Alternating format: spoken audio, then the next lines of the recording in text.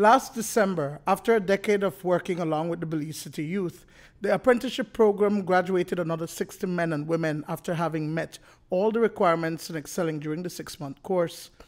But their certificates were missing a signature, and it wasn't until today that the signed documents were handed over to the apprentices. Today, there was a treat because What You Know's Daniel Loveless from the Caribbean Show was present for the event. Today, because Daniel is in our country, I worked it around his um, visit so that he can do us the honor and give them their um, certificate.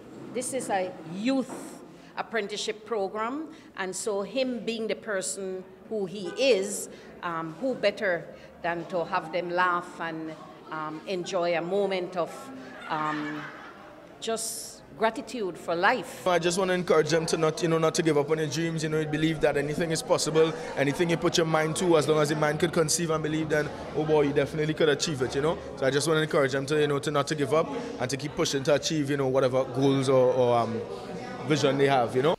Also present for today's event was another graduate of the apprenticeship program, Akeem Gill, for some years now, has been working in the cruise ship industry. He is back home on vacation and shared some inspiring words with the apprentices. We want to inspire them to understand that all those individuals were where they started. And so these individuals must motivate them to understand that they can also reach their level of greatness. A ladder, it's step by step in order to reach the top. There's no easy way out of it. And so um, when we bring back these past apprentices, it's just to inspire them and motivate them. How did you get to where you are? That's the, that's the question, and the response is what they take back with them in order to per persevere and become their greater self. One of the messages that resounded was that sometimes the support that a young person needs cannot necessarily be found at home. They want to remain in the program, but they lack the necessary resources to keep them in the program. Again, we go to the extent of speaking to their partners because there are some of them who their partners have always had them home.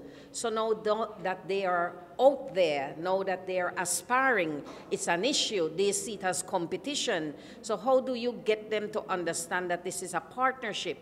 Two checks coming into the house can only make things better.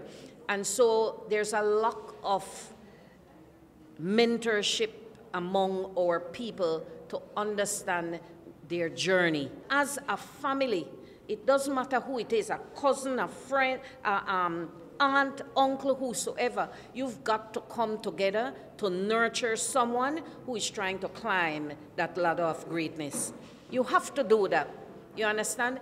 If you don't do that, they feel obligated to go outside of their comfort zone. And oftentimes, outside is where the danger happens. If you don't know, now you know. Duane Moody for News 5.